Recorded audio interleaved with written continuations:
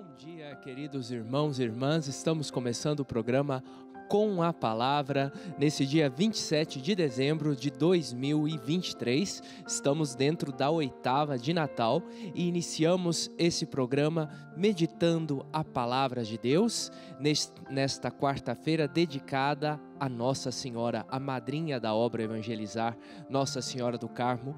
É dia dedicado totalmente a ela, quarta-feira mariano. Nós queremos nos encomendar a Nossa Senhora, a nossa mãe, colocar a nossa vida, colocar tudo que somos, tudo que temos aos pés de Nossa Senhora. E também no dia de hoje, dia 27 de dezembro, nós estamos comemorando em toda a igreja, dentro da oitava do Natal, a festa de São João evangelista, apóstolo e evangelista. Também queremos pedir a intercessão de São João para que interceda por cada um de nós e por todas as nossas intenções. E no início deste programa, com a palavra, meu irmão e minha irmã, eu quero te convidar a ligar para nós. Ligue para nós o telefone que está aparecendo aí no vídeo Deixe o seu pedido de oração. Nós queremos rezar por você, rezar pelas tuas intenções, apresentar as tuas intenções e colocar as tuas intenções diante de Nossa Senhora. Então, ligue para nós. Torne você também um associado da obra Evangelizar, ligando neste mesmo número para nós você pode se tornar um associado desta obra e pode aí colocar também as tuas intenções. Nós queremos rezar por você no dia de hoje. E nós estamos dentro da oitava de Natal. E portanto ainda é Natal, feliz Natal. Porque a igreja, como eu dizia no programa de ontem, a solenidade do Natal é tão grande que ela não fica dentro de um único dia senão que a igreja estende por oito dias, como se esses oito dias fossem um único. Isso significa então a oitava. Então, se alguém te dá Feliz Natal, não está atrasado, não. Até dia 31 é Natal para nós católicos. E dentro da oitava, nós estamos comemorando São João, apóstolo e evangelista. E nós vamos hoje meditar a respeito de São João que é apóstolo e evangelista. Por isso, eu já te convido no início do nosso programa a pegar a palavra de Deus. A palavra de Deus que se encontra no Evangelho de Lucas, no capítulo 5, no versículo 10. Lucas 5, versículo 10. Nós vamos meditar. E o nosso tema de hoje é: O filho do trovão se tornou o discípulo amado. Vamos meditar a figura de São João Evangelista e a importância que tem São João Evangelista para todo o mundo cristão. Ele que foi discípulo, amado e amigo do próprio Cristo Jesus. Nós estamos dentro da oitava do Natal, como eu dizia, e na missa do dia do Natal, na missa do dia 25, nós escutamos o evangelho que é tirado de São João é o chamado prólogo de São João. Nós temos quatro evangelhos. O evangelho mais, se assim podemos dizer, com muito cuidado, o evangelho mais teológico nós encontramos em João Evangelista. Porque João Evangelista usa do seu evangelho, escrevendo o seu evangelho, fazendo uma teologia profunda. Por isso, já no prólogo de São João, assim chamado, a partir do capítulo 1 de São João, nós vamos escutar: e o Verbo se fez carne, e o Verbo estava junto de Deus, e o Verbo era Deus. Enfim, é toda uma bonita teologia para se referir a Jesus Cristo. Jesus Cristo, que é o princípio de tudo. É uma profunda teologia para nos ajudar a pouco a pouco entrarmos dentro da dinâmica da encarnação de nosso Senhor Jesus Cristo. E também João Evangelista nos deixou outras três cartas. Nós encontramos o Evangelho de São João e outras três cartas que foram escritas por este evangelista. Então hoje nós celebramos São João Evangelista, aquele que escreveu os evangelhos, não João Batista. Tem muitos Joãos aí na Sagrada Escritura. João Batista é o precursor do Senhor. E escutamos muito João Batista durante o tempo do advento, em preparação para a vinda de nosso Senhor Jesus Cristo, nós escutamos relatos a respeito de João Batista. João Batista não fez parte do número dos seguidores de Jesus. João Batista tinha o seu próprio movimento e tinha os seus próprios seguidores. E João Batista não viu toda a missão de Jesus Cristo e nem presenciou a paixão, morte e ressurreição de Jesus, porque lembrem que Herodes, o rei Herodes, mandou, o filho do rei Herodes, mandou matar João Batista decapitado por causa de Salomé. Não é? Então João Batista morreu decapitado. Já João Evangelista não. João Evangelista não morre decapitado. Inclusive, dos doze apóstolos, todos morreram martirizados. Ou seja, todos foram mortos, derramaram seu sangue pela causa do Evangelho. Menos João Batista. João Evangelista, olha, já começou a confusão. João Evangelista não morreu martirizado, senão que João Evangelista morreu já com uma idade muito avançada. Foi o único apóstolo de Jesus que não morreu é, martirizado.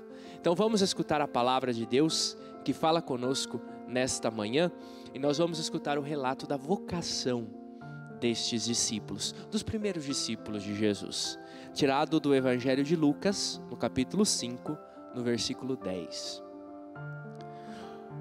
O mesmo acontecera a Tiago e João, filhos de Zebedeu, que eram seus companheiros. Então Jesus disse a Simão: Não temas, doravante serás pescador de homens. E atracando as barcas à terra, deixaram tudo e o seguiram. Aqui nós vemos o relato das primeiras vocações, dos primeiros chamados.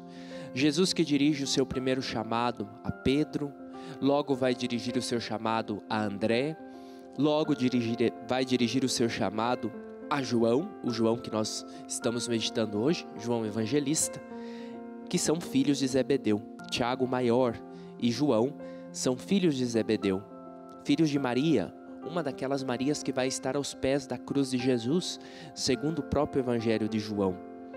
E então vai dizer a todos eles, inclusive a Simão Pedro: Não temas, doravante serás pescador de homens. Nós estamos dentro do contexto da pesca milagrosa. Depois que Jesus passa no deserto um período de oração e que ele volta, ele encontra com esses primeiros discípulos e convida esses primeiros discípulos para que façam parte do seu grupo.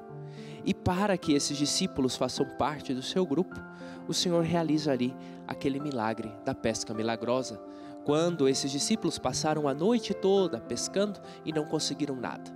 E encontrando com o Senhor, o Senhor dá a ordem: avancem para águas mais profundas. E eles avançando para águas mais profundas, o Evangelho nos narra que eles têm uma pesca milagrosa, na qual enchem as suas barcas, a sua barca quase afunda de tantos peixes. E é aí então que começa o chamado desses discípulos para seguir o nosso Senhor Jesus Cristo. E o seguem com amor e destemor. O tema de hoje é João, o filho do trovão, que se fez discípulo amado de Jesus. Pela tradição, nós sabemos que João deveria ter entre seus 16 ou 17 anos quando começou a seguir nosso Senhor Jesus Cristo. E Jesus, como todo ser humano, como a sabedoria encarnada, ele tinha tinha amigos e tinha o seu círculo mais próximo. Nós conhecemos. Tinha Lázaro, Marta, Maria. E entre os seus discípulos tinha um círculo mais próximo. Tinha os doze que eram próximos dele, mas entre os doze ele tinha um círculo mais próximo ainda, que é Tiago, que é Pedro e que é João. João, o discípulo amado de Jesus, é aquele que sempre esteve junto com Jesus, que presenciou cenas muito bonitas, que presenciou milagres muito bonitos com seus olhos. Inclusive, João Evangelista é um daqueles que estava no episódio da transfiguração de nosso Senhor Jesus Cristo, quando eles subiram ao monte. João é aquele que presenciou a transfiguração de Jesus. Nós também sabemos, pelo próprio Evangelho de João, que João Evangelista testemunhou por primeiro a ressurreição de nosso Senhor Jesus Cristo. É claro, primeiro foram as mulheres, não encontraram o corpo, mas dos discípulos, João foi o primeiro, que chegou até a sepultura, mas não entrou. Viu que ali estavam os lençóis que envolviam o corpo do nosso redentor. E o evangelista mesmo vai dizer que viu e acreditou. Acreditou porque amava, porque era o discípulo amado e amava nosso Senhor Jesus Cristo com todo o seu amor. E porque era amado, ele também nas suas cartas vai nos insistir muito, vai falar muito para nós a respeito do amor. São João, na sua primeira carta, vai dizer: Olha, do que adianta você falar que ama a Deus que não vê, mas não ama o teu irmão que você vê? Então é falsidade, vai dizer João. Se realmente você ama a Deus que não vê, então você tem que amar o teu irmão que você está vendo. E São João vai nos indicar sempre o caminho do amor.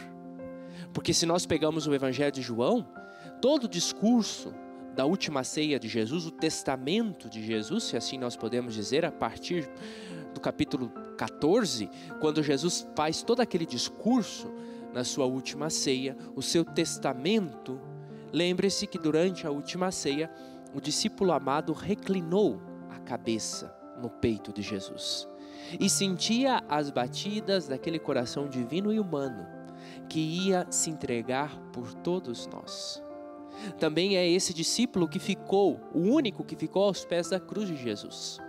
Os outros discípulos, quando Jesus foi preso e quando Jesus foi julgado, os outros discípulos deram no pé.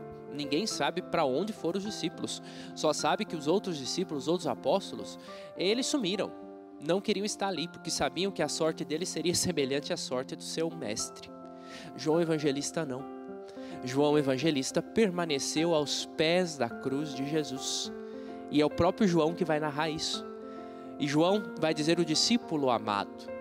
É claro que hoje a maioria dos biblistas entram no consenso de que o discípulo amado é o próprio João. Ele permaneceu aos pés da cruz de Jesus. E não permaneceu sozinho aos pés da cruz de Jesus. Permaneceu junto com a Virgem Maria. Permaneceu junto com a nossa mãe.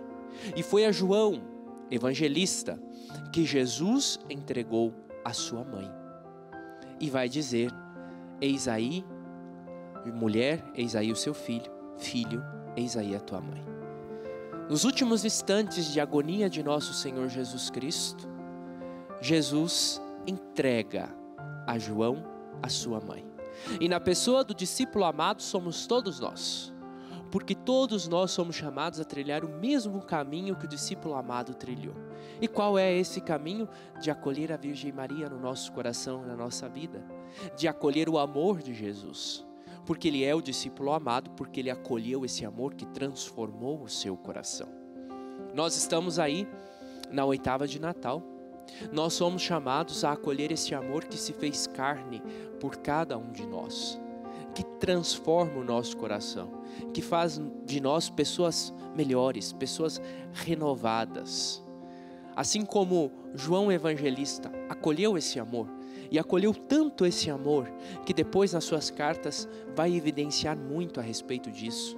Vai falar muito sobre o amor que nós temos que ter com os demais, com o amor que nós temos que ter com Deus, a confiança que nós devemos depositar em Deus. Tudo isso nós também somos chamados a acolher no nosso coração e na nossa vida. Acolher esse Jesus que vem ao nosso encontro. E vindo ao nosso encontro, vem para nos salvar.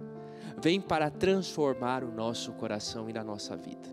E foi isso que João Evangelista fez. Acolheu esse amor. E esse amor foi capaz de transformar o seu coração. João Evangelista que começou o seu segmento muito jovem em torno dos seus 17 anos, começou a seguir o Mestre Jesus. E praticamente viveu até os anos 90 da nossa era. Morreu com seus 100 anos, mais ou menos. E teve um coração totalmente apaixonado por nosso Senhor Jesus Cristo. E esse coração apaixonado pelo Cristo fez com que João entregasse à igreja nascente o seu evangelho a sua boa notícia, relatando coisas lindas a respeito de Jesus, É somente no Evangelho de João que nós vemos a entrega que Jesus faz de Maria a João Evangelista e entrega a Virgem Maria a toda a humanidade como mãe. É somente no Evangelho de João que nós vemos o milagre das bodas de Caná. Nós vemos uma grande conexão do Evangelho de São João com a Virgem Maria. Assim como nós vemos também uma grande conexão do Evangelho de Lucas com a Virgem Maria, nós vemos um o Evangelho de João uma conexão grande com a Virgem Maria não como protagonista, mas como aquela que sempre está a serviço do seu filho Jesus. Meus irmãos e minhas irmãs, nesta manhã de quarta-feira, quarta-feira mariana, dedicada a Nossa Senhora, vamos abrir o nosso coração, vamos acolher o amor de Deus nos nossos corações, porque assim como João Evangelista foi o discípulo amado de Cristo, Cristo também deseja que cada um de nós, que eu e você, também sejamos discípulos, discípulas amadas, ou seja, que acolhem o amor de Deus no seu coração e na sua vida. Nós vamos para um rápido intervalo, voltamos já já, mas antes, a Peregrina Brasil tem um recadinho especial para você. Que tal conhecer os lugares onde viveram os santos que você admira? Imagine fazer essa viagem com o Padre Christian Shankar, que ensina com sabedoria e alegria. A Peregrina Brasil e a TV Evangelizar te convidam. Vamos para Veneza, de São Marcos, Pádua, de Santo Antônio, San Giovanni Rotondo, do Padre Pio e Roma, para ver o Papa, o Vaticano e lindas basílicas. Viagem em junho do ano que vem, vagas limitadas. Peregrinação Caminhos de São Francisco e Basílicas Italianas, com o Padre Christian Shankar. Uma experiência de fé e amor que você não pode perder. Faça já sua reserva pelo telefone 11 2942 8332 ou pelo site peregrinabrasil.com.br.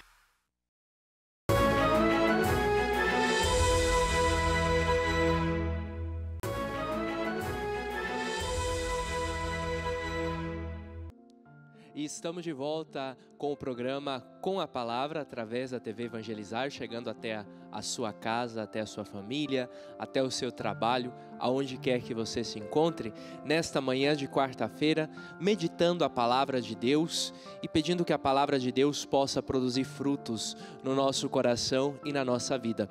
Hoje também é dia de São João Evangelista e nós queremos, junto com o discípulo amado, o discípulo amado pelo Cristo, que reclinou a sua cabeça no peito, no coração do Cristo, nós queremos pedir a esse discípulo que nos coloque na escola do discipulado de Jesus Cristo.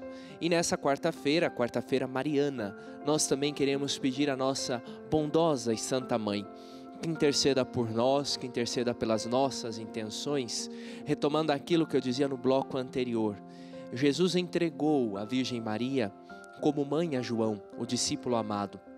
E João representam todos os discípulos de Cristo, representa toda a igreja, representa eu, representa você que acreditamos, que cremos em Jesus Cristo. Portanto, nossa bendita mãe, nós podemos dizer com toda a propriedade, é nossa mãe, porque nós também somos chamados a entrar na escola do discipulado e ser discípulo, discípula amada de Jesus Cristo. E hoje nós estamos meditando a palavra de Deus que se encontra no Evangelho de São Lucas, no capítulo 5, no versículo 10, o chamado dos primeiros discípulos. Os primeiros discípulos que deixaram as suas redes para seguir Jesus Cristo, que deixaram suas coisas para seguir Jesus Cristo, ou seja, deixaram aquilo que era supérfluo deixaram as coisas que não encontravam mais sentido de vida, porque encontraram no Cristo um novo sentido de vida, uma nova esperança brotou no coração daqueles discípulos que seguiam Jesus Cristo. A vida daqueles discípulos não foi mais a mesma depois que encontraram com Jesus Cristo. E não foi mais a mesma que João vai narrar também no seu evangelho a sua vocação. João, no seu evangelho, no capítulo 1, vai narrar que ele era discípulo de João Batista. E quando João Batista viu Cristo passar, João Batista exclamou: Eis o Cordeiro de Deus. E João Evangelista, junto com André, seguiram Jesus. E Jesus então se volta para eles e pergunta: O que vocês procuram? E então, tanto André como João Evangelista vão dizer: Rabi, que quer dizer mestre, aonde moras? E Jesus então vai dizer para eles: Venham e verão. E eles foram. João Evangelista diz que eles foram até onde Jesus morava. E é interessante o relato de João Evangelista, porque vai dizer que era mais ou menos às quatro horas da tarde quando eles encontraram com Jesus. O encontro com Jesus, o olhar de Jesus para João Evangelista, o olhar de Jesus para André, o olhar de Jesus para Tiago, para Pedro, é tão profundo que transforma as suas vidas. E que faz com que aqueles pescadores ignorantes, que não conheciam muito de judaísmo, que não conheciam muito das letras, deixassem as suas redes, seguissem o Cristo Jesus e depois conquistassem o mundo inteiro com a sua pregação e com o anúncio do Evangelho. Por isso, nós damos graças a Deus porque nós temos os apóstolos. O Senhor Jesus nos deixou os apóstolos, nos deixou os evangelistas. E é através desses apóstolos, é através desses evangelistas que nós conhecemos a vida de Jesus. João vai nos deixar no seu evangelho sete sinais, que são os sete milagres que Jesus realizou. Também é no evangelho de João que nós vamos ver o protagonismo da Virgem Maria nas bodas de Caná. A Virgem Maria que está aí em prontidão para servir, atenta a tudo que está acontecendo naquele casamento. E porque está atenta a tudo que está acontecendo naquele casamento, a Virgem Maria então vai dizer: eles não têm mais vinho. E é ela que vai impulsionar Jesus a começar o seu ministério público. Inclusive, João Evangelista, depois do milagre das bodas de Caná, vai dizer que este foi o primeiro milagre que Jesus realizou para que os seus discípulos acreditassem nele. Isso é muito bonito. Também João Evangelista vai nos dando vários detalhes a respeito do julgamento de Jesus. Inclusive porque João Evangelista consegue entrar, segundo o próprio Evangelho, nos recintos aonde nosso Senhor Jesus Cristo estava sendo julgado. E João Evangelista, como testemunha ocular de tudo que aconteceu, vai nos narrar no seu evangelho. Por isso vale muito a pena, meu irmão e minha irmã, você pegar o evangelho de João e começar a ler.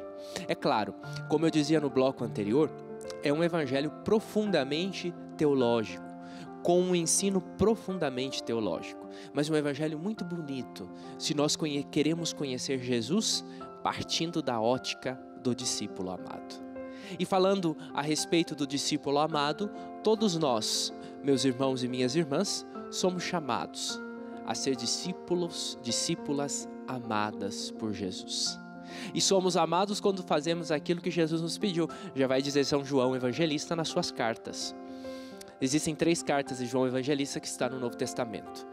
E João Evangelista vai dizer que para sermos amados, aquele que ama faz o que o amado pede.